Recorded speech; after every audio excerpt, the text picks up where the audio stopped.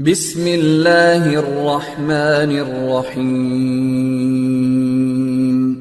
رب زدني علما The next thing, the overview of the contents here, like uh, if you just click on this URL, this is the URL where you'll find the contents. And of course, you can also find the contents by searching with keywords. You can search for CCNP Security Core, uh, exam topics.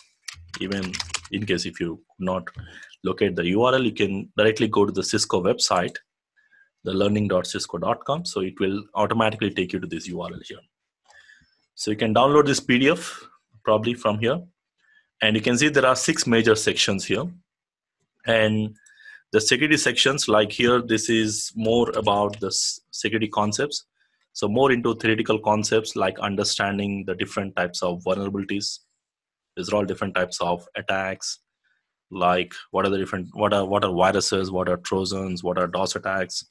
Uh, basically, a theoretical knowledge of all these options and additionally understanding some other vulnerability options like security bugs uh, weak or hard coded passwords. What are the options what are the vulnerabilities in your network?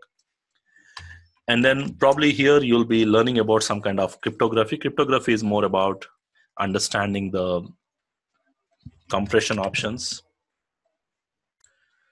Okay so basically these papers like here you can see there's common understanding the common vulnerabilities options and this this is more about cryptography understanding the encryption or hashing methods and how they work the public infrastructure options. Probably you will be understanding more on that. And i think this this part is understanding about the vpns the different types of vpn or local and the remote vpns what they do exactly. Again this is uh, comparing the different types of vpns but again as i said if you want to get more deeper into the vpns again there will be a svpn paper dedicated on that. And then understanding now this these options relevant to some kind of automation like understanding the sdn architecture and then understanding the dnac or interpreting some of the basic python scripts. So probably i'll be separating the content a little bit uh, not exactly as per this because we'll be we'll be going with a different order not exactly because here like the mix up of the topics here but this is more on uh, the security concepts here. And in terms of network security, now in this network security options, you will be seeing the different security solutions you will be implementing. Like what are the like you install some IPS, why we do that, and then we set up the firewall devices in our network, what they do exactly, and then the different deployment models, like what they exactly provide the IPS or the firewall capabilities options, understanding NetFlow, and then probably we'll see some configuration so most of the options where you see the compare or describe this is more on theoretical stuff.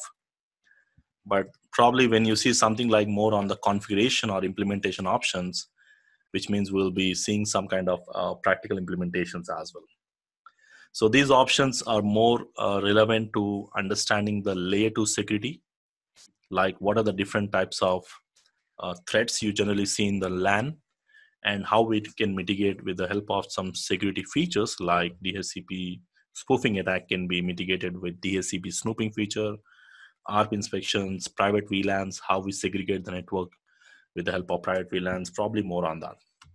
And of course, uh, understanding the data planes, how to protect your control plane, data plane, and management plane options. Probably we'll, we'll also see that. And if you go ahead, again, you'll see the options here like application visibility control, URL filtering options, uh, probably in the firewalls.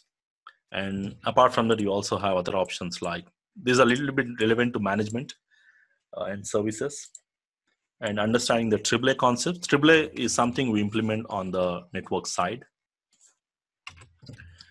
Authorization, uh, AAA stands for authentication, authorization, and accounting, authenticating the users and also the different options with SNMP and then the VPNs. And also we'll see some basic implementation of the VPNs like site-to-site VPN and the basic remote access VPN will, will configure here. But again, as I said, we'll be getting in more deeper on the VPN section, probably in the SVPN paper. So these options more into uh, virtualization, securing the cloud, cloud infrastructure. What are the different options we have? probably it's more about securing the cloud infrastructure Okay, so first we'll understand the uh, security solutions. What are the differences between the in-house or the cloud options, the public, private, hybrid uh, clouds, basically. And the next section again is more about content security. Content security is more about securing your web traffic with the help of uh, WSA and then ESA, securing your email traffic. Mostly the content filtering means uh, filtering the contents which are which are moving in your network, URL filtering, malware scanning, these options. And additionally, endpoint protection. This is more about antivirus programs or how we can secure the end devices.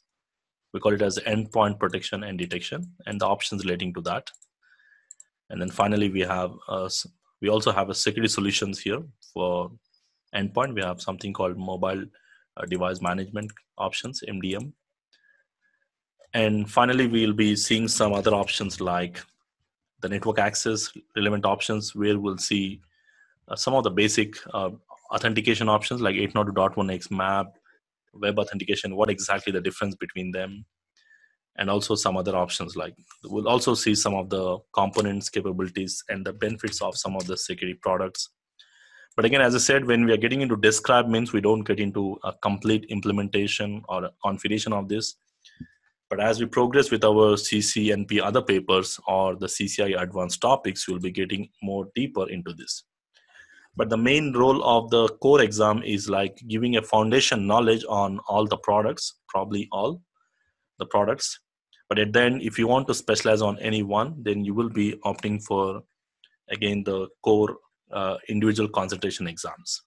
And of course, if you're going for CCIE, again, you need to have uh, more deeper knowledge apart from the individual concentration exams again here.